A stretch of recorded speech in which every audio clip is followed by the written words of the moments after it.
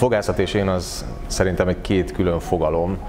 Én is azoknak a táborát erősítem inkább, akik már akkor mennek fogorvoshoz, hogyha baj van. Egyébként szerintem ez azért van, mert nekem gyerekkoromban volt egy nagyon nagyon rossz fogorvosi élményem. És az egyik barátom egyébként, aki már évek óta ide jár, ő ajánlotta, hogy mindenképp jöjjek el, mert itt olyan, olyan bánásmódban lesz részem, ami biztosan felülírja majd ezeket az élményeket. És hát így is lett. Tehát ide azért belépve ebbe az egész épületbe már olyan, olyan látvány fogadott, ahol éreztem, hogy itt szerintem jó kezekben leszek. Az külön szimpatikus volt egyébként, hogy a, a doktor úr az egész konzultációt egy röntgennel kezdte, és ez alapján állapította meg a, a fogaimnak az állapotát. Az nagyon jó volt ugyancsak, hogy azt éreztem, hogy olyan biztonságban vagyok, tehát olyan, olyan fogadtatásban, olyan bánásmódon volt részem, ami szerintem nagyon kevés helyen adatik meg, és szerintem ez kulcsfontosságú, mert ezekkel lehet ezeket a rossz élményeket felülírni.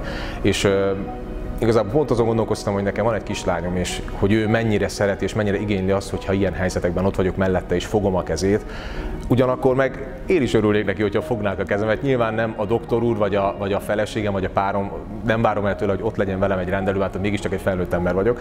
De azért szerintem, hogyha az ember azt a törődést, azt a bánásmódot megkapja a kezelőben az orvosától, és kialakul az az orvos és páciens közti bizalom, akkor ez felér szerintem egy készfogással. Az egészen bizonyos, hogy én nagyon elégedetten és boldogan távoztam innen a Helveti Clinicsből. Először voltam ugyanitt, de egészen biztos, hogy nem utoljára.